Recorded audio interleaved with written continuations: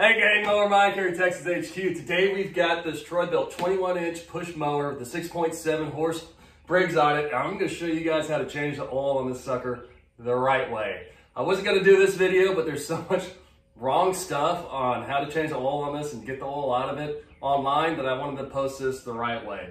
Now, the first thing you want to do, you want to elevate this thing. So we're going to have to get underneath it to drain the oil. So, you know, you get a pair of sawhorses, get it up on a stand, however you want to do it, just so you can get underneath there because we're to have to get underneath there and do a little work. So with that, we're to go ahead and get started and I'm to get this thing up on my bench. The first thing, we need to take off this blade and then we can take off this plastic cover in order to get to the drain plug. So this is just a 5 8 right here. Oh, it helps when you put your, uh, put her in full reverse. So you pop that off. And then what you've got, you've got a half inch bolt that holds this plastic cover on here. There's one here. Now you only have to take off one of these half inch bolts. The other ones don't actually hold that plastic cover on.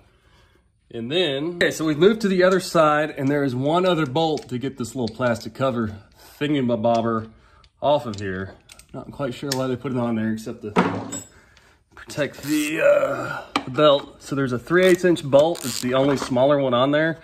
Had it loosened up. Now, when you take this thing off here, you just have to turn it so it matches the rectangle. So, you know, fit the rectangle through the rectangle hole, take it off like so.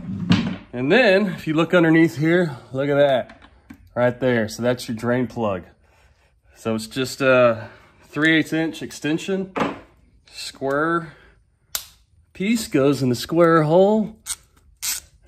And let's see if she drains out. I doubt this thing's ever been drained. It's such a pain to do. All right. Ah, there we go. Now this thing's been sitting for years and years and years and years. There ain't no telling what this oil's gonna look like.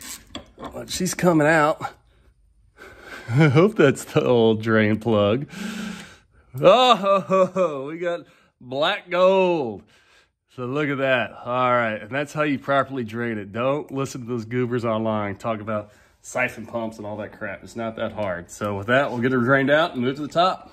Okay, so we've let all that nasty, nasty old oil drain out of there. And you just screw that drain plug back in there. Just make sure to clean that drain plug before you put it back in there. Just so, you know, you're starting fresh here. And then tighten her up. You don't want to put He-Man strength on it, but, you know, make sure she's tight up in there so you don't have a leak. These are aluminum cases, so don't go super tight. I usually put about 10 pounds. You slide your little cover back up on there, line her up, and you put your bolts back in. Easy breezy. In theory. All right, so we've got our 3 8 on here, and now we just put our half incher on there. And when you put this on, I just want to stress, you do want to make it tight because this is actually holding the uh, motor down to the frame of the motor of the mower itself. Gotta admit, I've never changed oil quite like this. But uh, hey, anything to get that old oil out of there and get all of it. It's that problem with those siphon tubes, they don't get the bottom of it out. You know, so you end up with all the same crap in the bottom. It's just not that great. So go ahead and spend the time, get the mower up on some stands or whatever. And uh, there we go. And then next, we're go ahead and put a new blade on. Now this is the perfect opportunity to put a new blade on. So what we got here, we got a brand new freaking blade. Just make sure to put it on correctly. Yep. I can see that little, yep, that little cover goes just like that. The two little holes go into the holes in the blade and it just bolts on there like so. Just make sure when you put any mower blade on, make sure to put the uh, sharp pointy part down. Don't put it up. Can't tell you how many times I've seen some lawn mowers with uh, the wrong side actually cutting the grass. And then you do that, you're just beating up the grass. So just line her up and then just hit it, you know. I'll go ahead and tighten that blade up, but that's how you do it. That's how you get the oil out. And next we'll move up top to lower with fresh oil. Okay, so now move on to the fun, easy part. Forget that draining the oil. Let's move on to filling her up. Now, everything I read online says this uh, 6.75 horse motor takes about a quart and a half of oil. Now, I always like to use the uh, Amsoil small engine oil. This is some good stuff.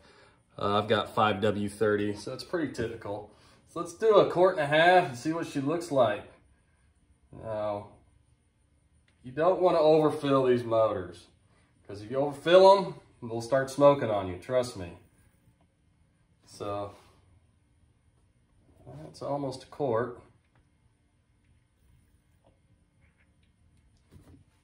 So let's go ahead and check it here. Now before you check it, you always want to clean your dipstick. So just stick it down there and there and just do it quick, a little quick, quick hit. And uh, yeah, definitely looks like we got her filled up. All right, gang, so now for the quick payoff, we've got fresh oil in her. Let's start her up. Oh, yeah. You can hear she does run a little smoother, that Amsoil in it. That's just some good oil. So I hope that helps, you know.